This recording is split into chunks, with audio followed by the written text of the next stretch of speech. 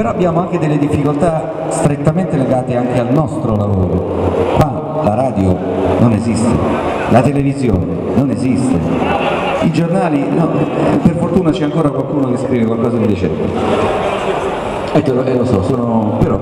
quindi questo vuol dire che a noi i mezzi di comunicazione di massa non, non abbiamo accesso. Ecco perché noi cerchiamo di darsi da fare in modo indipendente. Io ho preso lo strumento al chiodo per aiutare la diffusione della musica queste sono le dissonanze forti di questa città. Se noi, come giustamente lui sottolinea, lui dice di non essere contrario ai melodi, io purtroppo ho anche avuto esperienze personali quando non si chiamavano ancora neomelodici ma si parlava della galleria, i famosi guardascioni con le, le, agende sotto il braccio e noi abbiamo quel tipo di, di, tu la definisci cultura, quel tipo di produzione, che quella è una vera produzione, anche se c'ha soldi che puzzano, che sono sporchi, che sanno di, anche di cadavere, a noi non fa niente, andiamo avanti perché quello poi è una, è una tracimazione, è uno tsunami che trascina tutto e quindi per questo noi non, non troveremo mai un alveo decente sul quale poter parlare di musica, quindi se non c'è il pubblico noi non avremo appeal, non, non potremo mai funzionare. E soprattutto l'altra dissonanza, come diceva Seppe Carne, di non avere neanche una partnership con le altre regioni, ma perché a Napoli hanno paura di venire.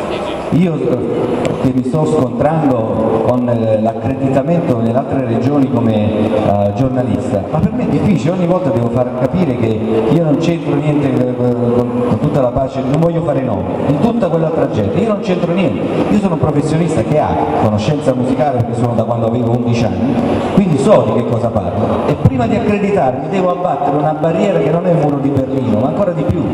è proprio la fossa delle Marianne come distanza ma io mi devo, cioè, ci credo e vado avanti, l'unica cosa che, ripeto, è la, il dispiacere della dissonanza all'interno del settore dei musicisti e della musica. Ok, un attimo allora, eh, prima di, che io chiuda il cappelletto, eh, Nicola ci vuole dare un suo contributo. Il mio contributo si lega alla discussione che poi è andata diciamo, eh, da un punto di vista diverso da come è iniziata e eh, leggo amarezza tra tutte quelle che sono le considerazioni da tutti gli interlocutori, musicisti, giornalisti e questo è un dispiacere, ma naturalmente si sapeva che fosse così, tant'è che il tema dire, era proprio voluto.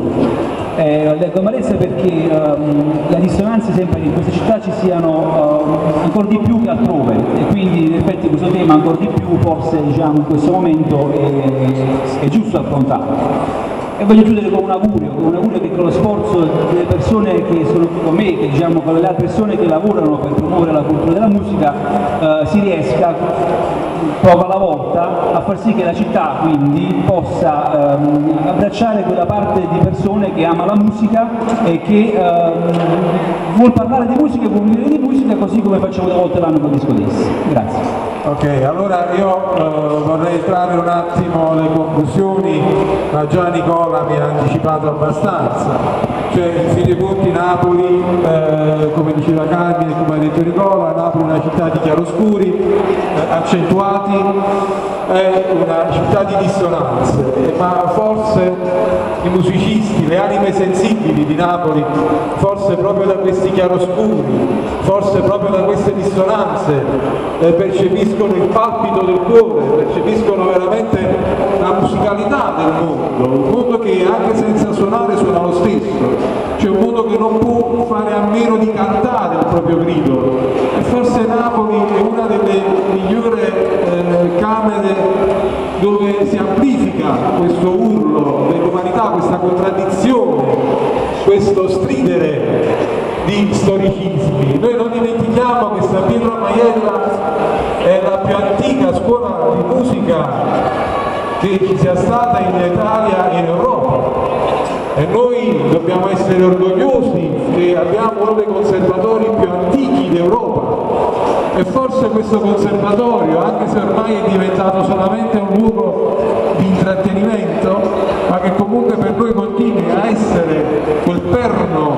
storico, antropologico, filosofico, sociale che ci spinga continuamente a non allontanarci mai dallo strumento musicale e dallo strumento della voce che grida al mondo la propria sofferenza. Grazie a tutti, arrivederci.